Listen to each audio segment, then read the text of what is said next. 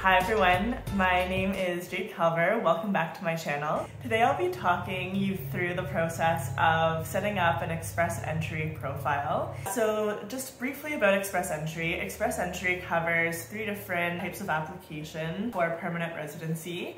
That is the Federal Skilled Worker class. So for that class of application, you need to have at least one year of continuous work experience and meet a 67 points out of 100 points on a specific scoring system. There's the Canadian Experience class, which is the second one, where you need to have at least one year of skilled work experience in Canada. And there's also the Federal Skilled Trades class. You need to have a job offer in Canada or a certificate in that trade and at least two years of work experience in your trade in order to apply. So what needs to happen first before you are able to submit an application to one of these classes of application is you need to create an online express entry profile. So what this profile does is it takes in all of your information and that's what gives you a comprehensive ranking score in the comprehensive ranking system or CRS system for short and that will effectively allow you to be considered. So it's like an expression of interest to the government. The government, once your profile is in the pool, invites candidates to apply to its various programs approximately every two weeks. And the goal is, of course, for you to have the highest score possible so that you have a good chance of being invited to apply. I'll also note that the Canadian provinces have access to these express entry pools as well.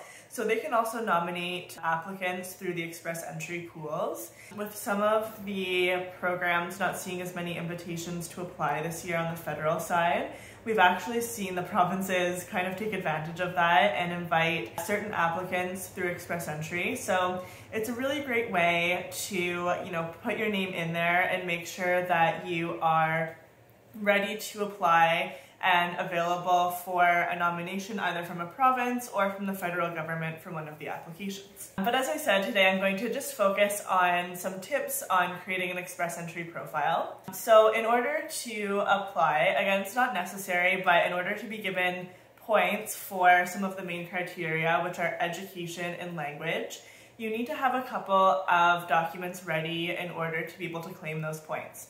So for language, we like to see an approved language test. So that's either, either the IELTS or the CELPIP, the general tests, or there's the TEF exam for Canada, which is for French uh, speakers. You can take both, it gives you extra points if you speak both French and English. So that's for English testing. And then for your education, you have to use a third party to have your education evaluated. I would say 99% of my clients use World Education Services. Certain clients, if they have a medical degree, for example, they have to go through a certain ECA provider. But for the most part, I would say just use uh, WES.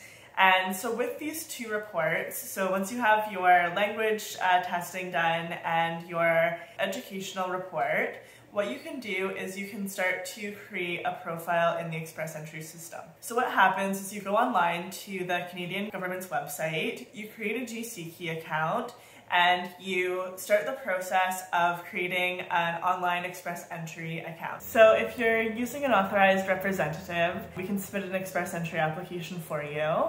If you're doing it on your own, you can take a quiz on the Immigration Canada website and answer a few questions. What will happen is they'll say, okay, you're eligible for express entry.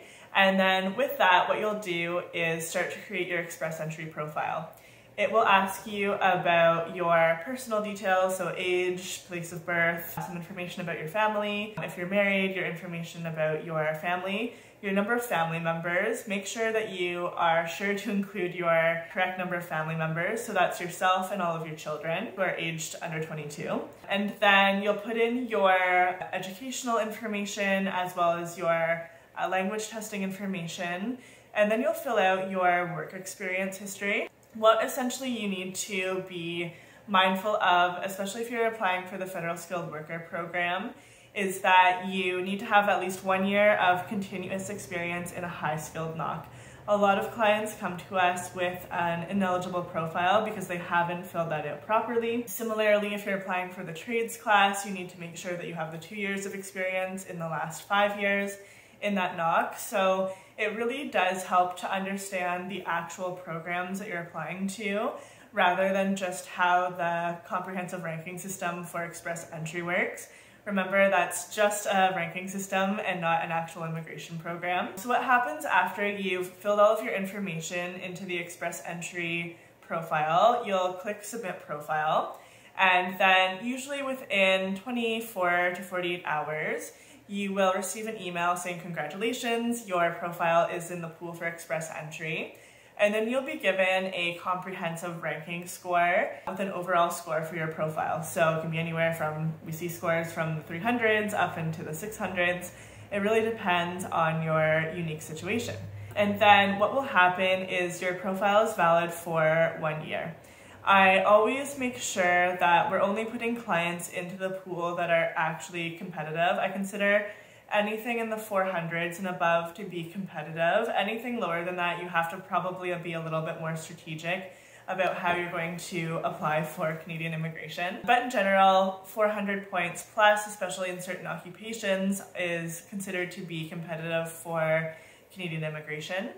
Um, and then from there, you wait for an invitation to apply for one of the applications for Express Entry. So again, one of the three that I mentioned at the beginning of this video. And then you put your documentation together and submit to the federal government.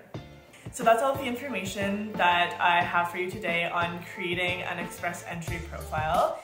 If you have any questions for me regarding Express Entry profile, whether it being, you know, selecting the correct NOC code, making sure that you have an eligible profile for Canadian immigration, or if you have any questions in general about the Express Entry process, we're happy to help. We're online at calverimmigrationservices.com and you can find us on social media as well. Thank you so much.